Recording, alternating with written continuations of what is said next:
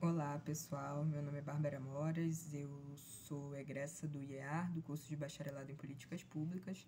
A convite do professor João Marcos, eu estou gravando esse vídeo para conversar com vocês rapidamente sobre a minha vida depois da graduação, né, os passos que eu tenho dado, a minha inserção no mercado de trabalho, carreira acadêmica. Então a gente vai conversar, né, assim de uma maneira um pouco monólogo, é, sobre a minha experiência dentro, dentro desse campo, né, pós-universidade.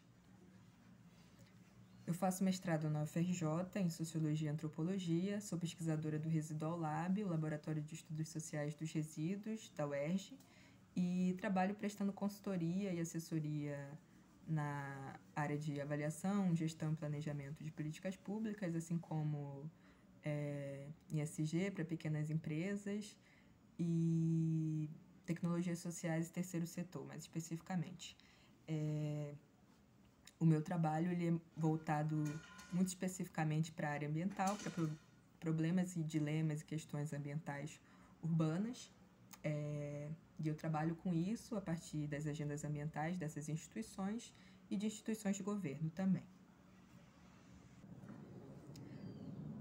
Eu escolhi o curso de Políticas Públicas porque eu já tinha interesse pregresso pela área social, eu tinha cursado por alguns semestres o curso de Ciências Sociais na Universidade Federal do Amapá.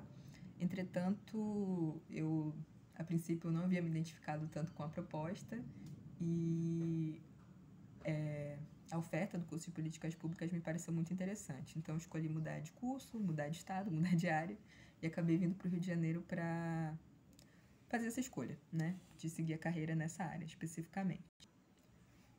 A possibilidade que o curso de políticas públicas me trouxe de experimentar ferramentas de diferentes áreas das ciências humanas e das ciências sociais aplicadas foi algo que me ajudou a desenvolver melhor as minhas curiosidades por questões mais universais e particulares, é, e que hoje, a partir desse caráter interdisciplinar do curso, eu consigo ser uma profissional diferente, né? Pelo menos por enquanto, dentro da nossa área.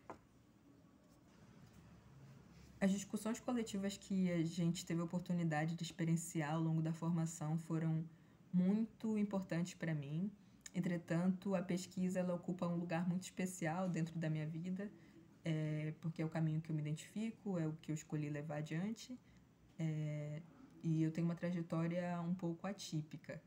É, eu passei para o mestrado ainda na graduação e foi um processo meio que de impulso para acessar esse novo momento da minha vida, mas ainda assim marcado por muitas inseguranças e por muitos receios. E o principal deles, que eu acredito que seja o mesmo de vocês, era a inserção no mercado de trabalho. Né? Então, apesar do, do, da sedução desse novo momento, eu ainda assim tinha muitos receios e muitas preocupações é, sobre isso. Durante a graduação, eu desenvolvi um trabalho de iniciação científica orientado pela professora Maria Raquel, é, com as cooperativas de catadores recicláveis na Costa Verde. E esse trabalho foi muito importante. Ele me marcou em um lugar muito especial é, de descoberta, onde essa pesquisa se tornou meu trabalho de conclusão de curso. E a partir de então, é, eu comecei a me inserir em outras questões voltadas para uma agenda ambiental é, de problemas urbanos, né? Como eu falei para vocês, que é o conteúdo majoritário do meu trabalho atualmente. A minha inserção na área da pesquisa externa academia, a partir da consultoria, da assessoria, ela foi muito voltada pelo momento em que eu acabei me formando. Né? Me formei no início de 2022, era um contexto de eleições estaduais e federais para o quadro executivo legislativo, é, então eu vi ali uma janela de oportunidade de me inserir nesse nicho, nesse mercado. Então eu me juntei a uma equipe de pesquisadores na época, trabalhei como assistente de um pesquisador profissional e dentro dessa oportunidade, na prestação desses serviços, eu comecei a mostrar o quanto que a minha formação é, contribuía para um, um outro tipo de abordagem, talvez. E isso me colocou em um lugar muito interessante dentro desses trabalhos, me ofertou muitas possibilidades e foi uma coisa bem legal, assim, de, de experienciar.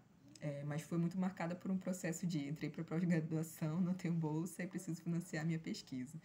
Então, assim, foi literalmente fazendo do limão a limonada.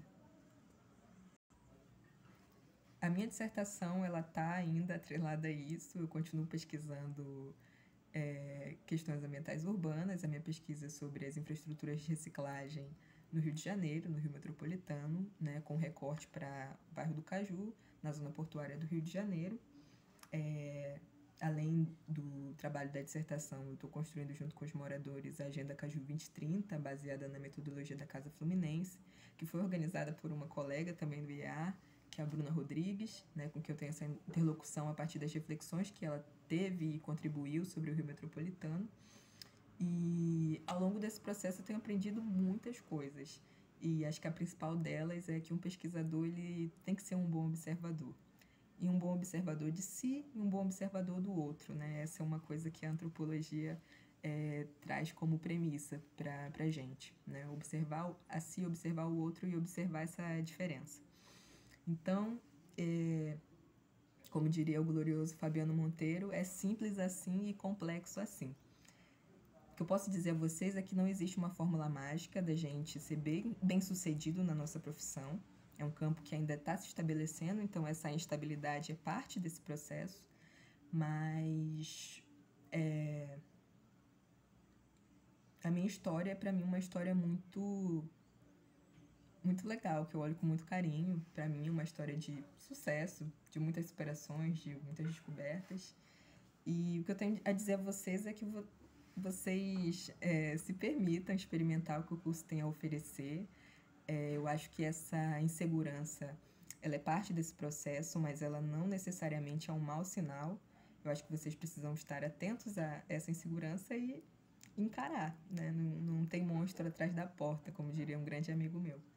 Então, o que eu tenho a desejar a vocês é coragem, é, que vocês estejam atentos e que vocês tenham muito sucesso nas suas trajetórias. É isso, galera.